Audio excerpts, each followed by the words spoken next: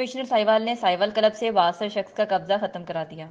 मलिक मनसब अली उन्नीस से गैर कानूनी तौर पर दो एकड़ इंतहाई कीमती ज़मीन पर काबिज था। गैर कानूनी कब्जे से अब तक कौमी खजाना को तीन करोड़ उनतालीस लाख का नुकसान हो चुका है।